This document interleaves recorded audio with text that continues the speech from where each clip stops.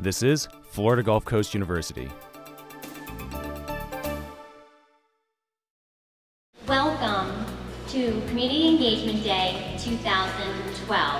I am delighted with the turnout of students. It's twice what it was last year. As a student, what I envied is the idea that this group of students and others like them were inspired and engaged in something so important that they had to take action on it. There was something inside of them.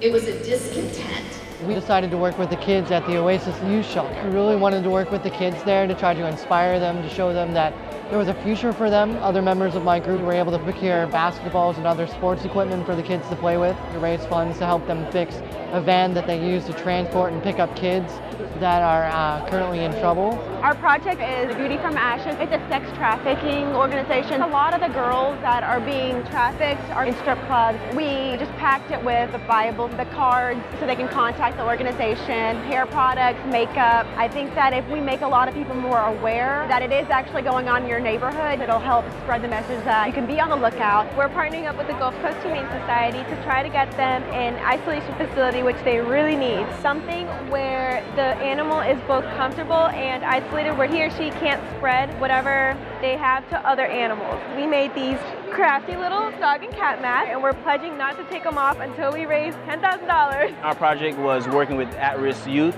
at Stars Complex. We wanted to promote positivity through education and recreational activities. Us being college students coming in with them as peers, they really enjoyed it a lot. It was great. We got to say that after these years, you guys are going to make decisions, and we just want to encourage you to make the right decisions.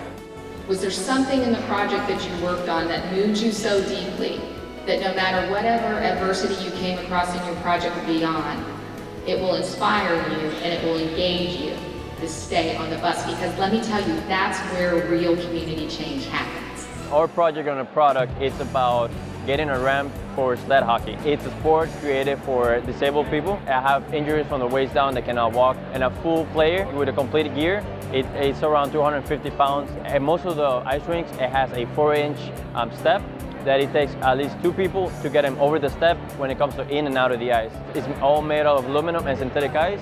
It's really lightweight and it's really portable. Our project is the mosquito education for kindergartners. We read them a couple different books and have a story time on mosquitoes education. It's a fun way to start the development of science and education together. We start with something like the mosquito because it's known more like a pest when in reality it pollinates flowers, acts as food sources. Our project is working with the local nonprofit Project Help Naples. They're an organization that helps victims of sexual assault violence through a crisis hotline, through grief counseling. We took care of some of the office work that you know they needed to get done, making brochures, organize all their clothes so when they do have their thrift store sale for donations, they can easily access those clothes. Our project was on deaf awareness. The deaf community from the Deaf Center in Fort Myers have a silent dinner and we had an open caption movie night and a silent dinner over at the Red Robin. And then one of the students here who is deaf wanted to see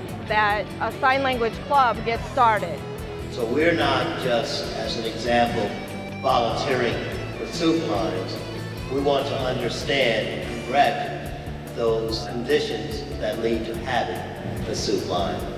And that separates service from community engagement. I got accepted yesterday to Teach for America and developed a program called the ACE Mentor uh, program. Thank you to the students especially and the faculty who guide them in uh, all of these worthwhile activities